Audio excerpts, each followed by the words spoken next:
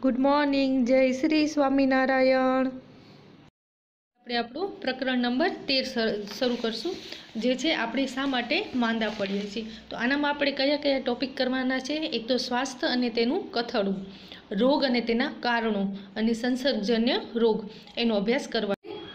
ખ્યાલ છે કે આપણું શરીર છે શેનું બનેલું છે? કોષો કોષો ભેગા થઈને પેશીઓ પેશીઓ ભેગા થઈને અંગો. હવે આ અંગો છે એ નિશ્ચિત પ્રકારના શું થશે? વિવિધ ક્રિયાઓ દ્વારા એકબીજા સાથે જોડાયેલા છે. હવે આ બધી ક્રિયાઓ છે એ કેવી છે? એકબીજા સાથે જોડાયેલી છે, એટલે કે આંતર સંબંધિત છે.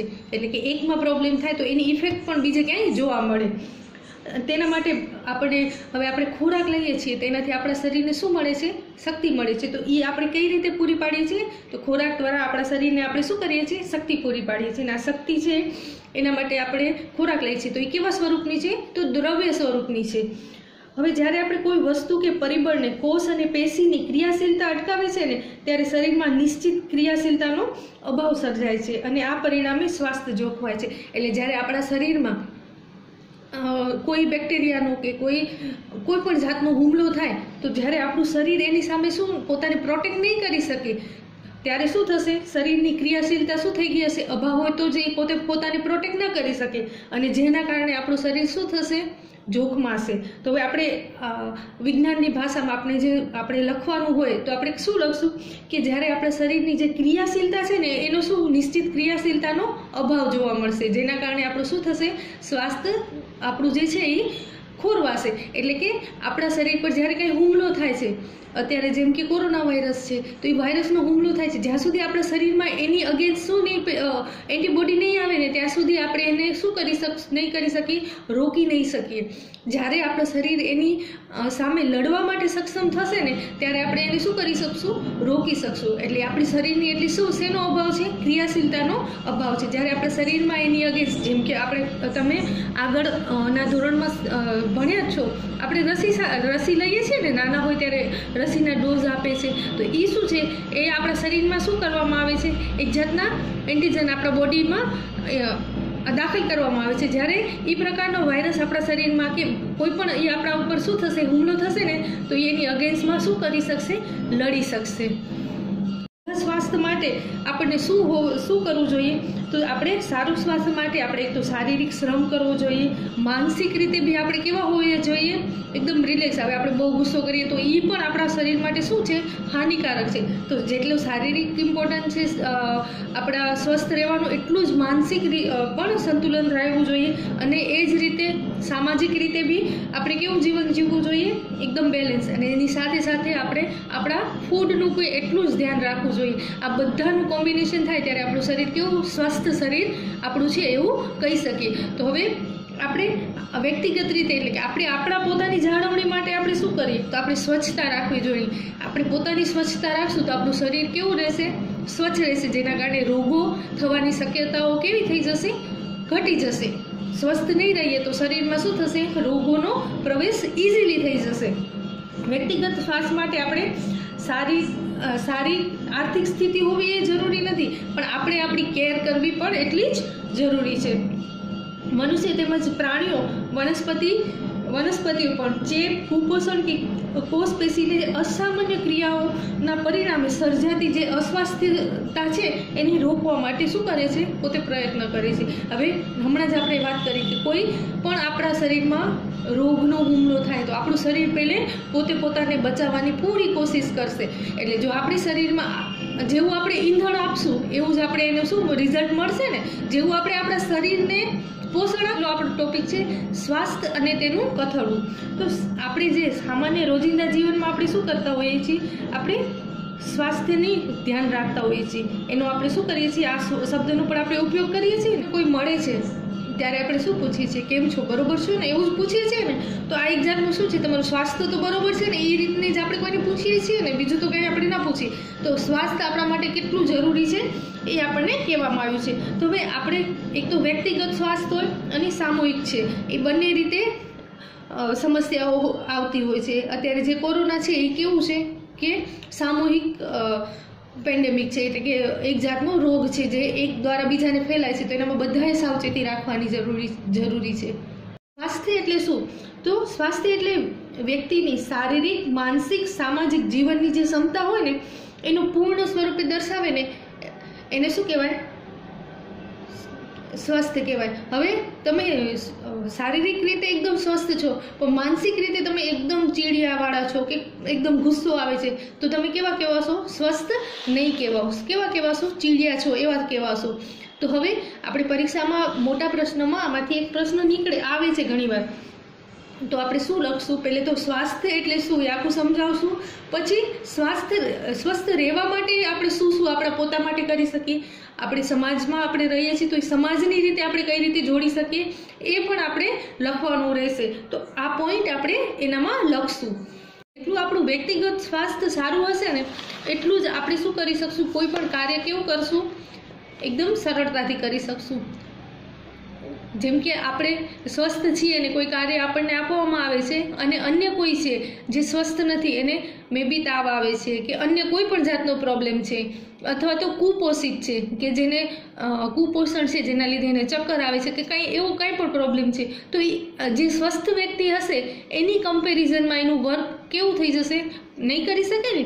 તો એક તો આપણે સ્વસ્થ લેવાના લીધે આપણે કાર્યમાં કેવું વ્યવસ્થિત કાર્ય કરી શકશું. સ્વસ્થ રહેવાનું માટેનું સૌથી મોટું અને મહત્ત્વનું પરિબળ હોય તો આપણે ખુશ રહેવાનું હોય છે. આખો દિવસ ખોટા ટેન્શન લઈને બેસવું, તો આપણું સ્વાસ્થ્ય ઉપર કે એની ઇફેક્ટ કેવી થશે? નેગેટિવ ઇફેક્ટ થશે એટલે નકારાત્મક ઇફેક્ટ થશે. જે આપણા શરીર માટે કેવી હશે?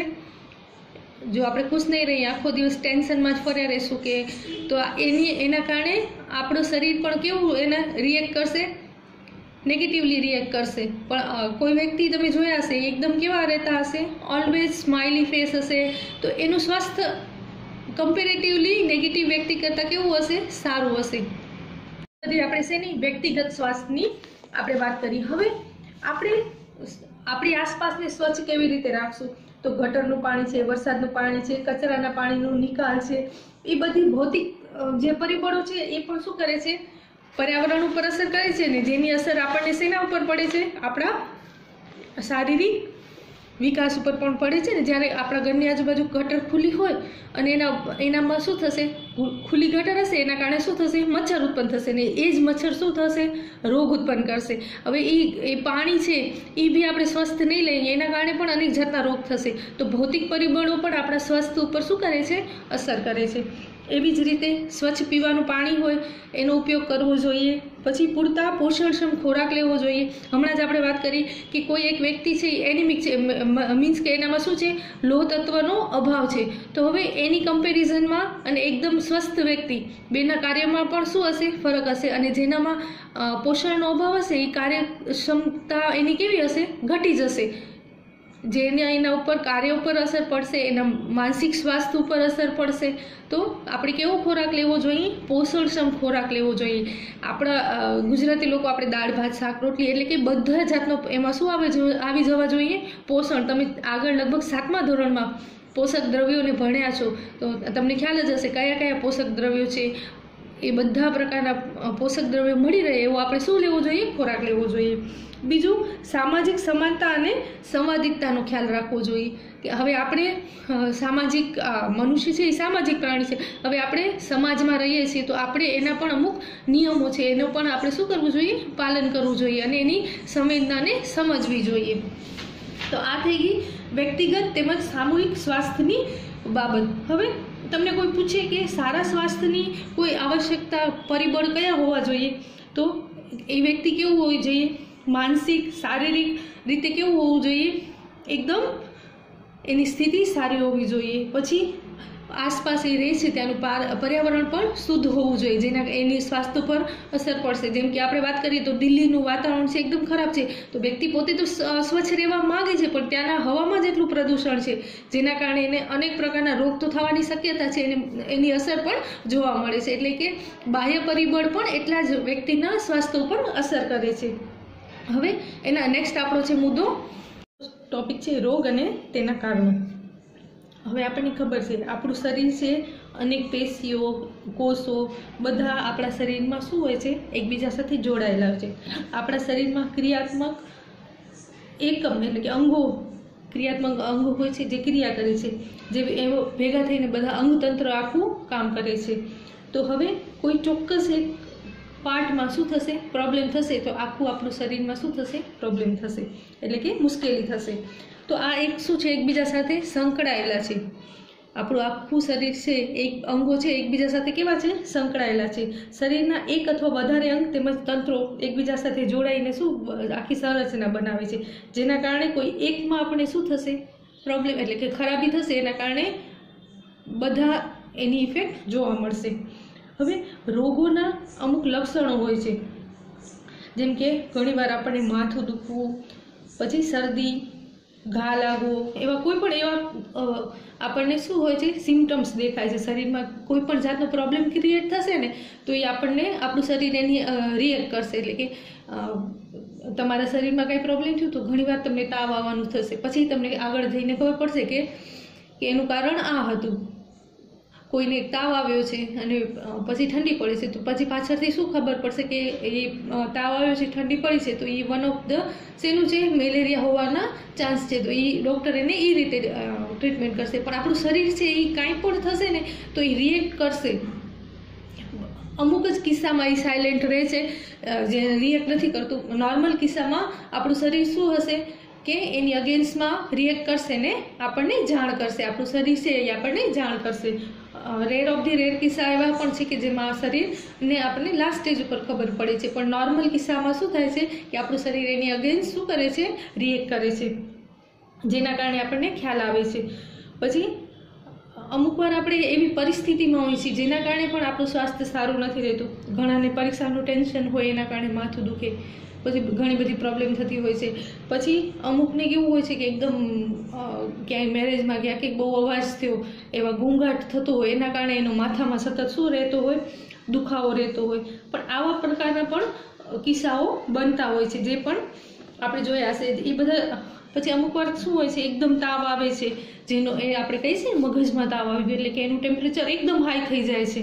તો આ પણ એક જાતનું આવું બનતું હોય છે. પણ આ બધાનો ખ્યાલ આપણે ક્યારે આવે છે?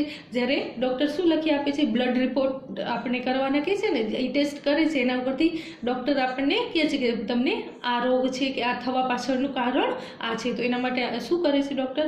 લેબોરેટરી ટેસ્ટ કરાવે છે અને અમુકવાર એક્સરે, સોનોગ્રાફી જેના દ્વારા એ શું કરે છે? નિદાન કરે છે. તો આ આ થયા શેના રોગ થાય છે અને આપણને જાણ કઈ રીતે થાય છે?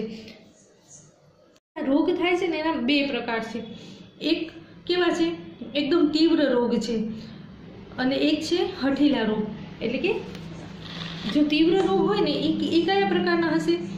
કે એ થવાથી આપણને આપણું શરીરમાં એની ઇફેક્ટ તો થશે, પણ આગળ જતાં એ શું થઈ જશે? એકદમ આપણે સ્વસ્થ થઈ જઈએ છીએ. અને હઠીલા રોગ જે છે એ કોઈ વ્યક્તિને થયા હશે, તો એ કેવા છે? એ એને મટવું ઇમ્પોસિબલ છે એ પ્રકારના. કે એ એ રોગ છે એનો એ જ્યાં સુધી જીવે ત્યાં સુધી એની સાથે રહે છે. કોઈ વ્યક્તિને એવા રોગ થયા હોય તો એ વ્યક્તિ જોડે જ રહે છે. તો તીવ્ર રોગ છે ને એ જે રોગના શરીર પર શું થશે? ઝડપથી એક તો આપણે ખ્યાલ તરત આવી જાય. કોઈને શરદી થઈ છે તો એને તરત ખ્યાલ આવી જશે કે એને શરદી થઈ છે. એવી જ રીતે ટાઇફોઇડ થયો છે તો એને એ વ્યક્તિને તાવ આવશે એટલે એને ખ્યાલ આવી જશે. તો એમ આ પ્રકારના રોગ છે એની થશે એટલે તરત જ એ વ્યક્તિને શું થશે? એની જાણ થશે, એટલે કે એના સિમ્ટમ્સ દેખાશે. જ્યારે હઠીલા રોગ છે ને, એ તરતથી વ્યક્તિને ખ્યાલ નહીં આવે જે વ્યક્તિને હશે અને શરીરમાં એના લક્ષણો કેવા હશે? મેં તમને કીધું ને, એવા rare of the rare case છે કે જેમાં બોડી રિએક્ટ નહીં કરે અને બહુ આગળ જતાં ખ્યાલ આવશે. તો કેટલા વર્ષો પછી એની એને જાણ થાય છે. એમાં એક તો હાથી પગોરો પછી ટીબી કેન્સર, આર્થરાઇટીસ, આ બધા આર્થરાઇટીસ છે એ ઘૂંટણના દુખાવાના રિલેટેડ છે. એ થયા પછી બહુ લાંબા ગાળે વ્યક્તિને ખ્યાલ આવતો હોય છે. ડાયાબિટીસ છે એ આપણા શરીરમાં ઇન્સ્યુલિનનું લેવલ વધુ થઈ જાય જેના કારણે થતો રોગ છે. તો એ લાંબા ગાળે સુધી એક તો રહે છે અને ખ્યાલ બી બહુ લાંબા ગાળે આવે છે એને કાંઈ તકલીફ થાય ત્યારે એને ખબર પડે છે કે એને શું છે? ડાયાબિટીસ છે, રૂજ નથી વળતી કે એવા કોઈ પણ પ્રકારના સિમ્ટમ્સ પાછળથી ખ્યાલ આવે ત્યારે એને ખબર પડે કાં તો એકદમ હાઈ થઈ જાય જેના કારણે એને ક્રિટિકલ કન્ડિશનમાં જવું પડે ત્યારે એને ખ્યાલ આવે છે કે આ એને ડાયાબિટીસના કારણે. કેમ કે નોર્મલ એને ખ્યાલ આવતો નથી. જ્યારે નોર્મલ કેસમાં તો કેવું હોય છે કે બાહ્ય દેખાય છે, એ વ્યક્તિને શું થતું હોય? શરદી થાય, તો એને ખ્યાલ આવી જાય કે એને શરદી થઈ છે, તાવ આવે છે. એવા સિમ્ટમ્સ હોય તો એ તરત પકડાઈ જાય છે. પણ આ કેવા હોય છે? ઇન્ટરનલ એટલે કે આંતરિક લક્ષણો છે જે પકડાતા બહુ સમય નીકળી જાય છે. તો હવે આ રોગો છે એને ચકાસવા માટે કઈ રીતે હોય છે? તો છેલ્લા ત્રણ મહિનામાં કેટલાક તીવ્ર રોગોથી નોર્મલ માહિતી ડૉક્ટર લેતા હોય છે. જેના ઉપરથી એને શું થાય છે? નિદાન કરવું. ઈ કોઈ પણ વ્યક્તિ ડૉક્ટર પાસે જાય છે, ત્યારે ડૉક્ટર એની પૂરી ડિટેલ લે છે. જેથી એને શું થાય કે નિદાન કરવા માટે થોડું ઇઝી રહેશે બાકી તો ડૉક્ટર છે, જે છે એ લેબોરેટરી ટેસ્ટ એટલે કે બ્લડ લેબોરેટરીમાં વિવિધ ટેસ્ટો દ્વારા ટેસ્ટ કરાવીને બ્લડ ટેસ્ટ છે યુરિન ટેસ્ટ એના દ્વારા તેમજ સોનોગ્રાફી દ્વારા કન્ક્લુઝન એટલે કે એના થવાના કારણો સુધી પહોંચે છે. તો આ ચેપ્ટર અત્યારે આપણે આટલા જ બે ટોપિક આપણે કવર કર્યા છે. એક તો સૌથી પહેલું સ્વસ્થ સ્વસ્થતા સ્વસ્થ રહેવું, એના કારણો ને બધું છે એ અને નેક્સ્ટ છે રોગ અને તેના અટકાવ. અટકાવ હજી બાકી છે, હજી ખાલી આપણે રોગના પ્રકાર જોયા છે. તો આ ચેપ્ટરમાં અત્યારે આટલું જ આ વખતે રાખીએ છીએ. નેક્સ્ટ વીડિયો લેક્ચરમાં આના પછીનું ભણશું.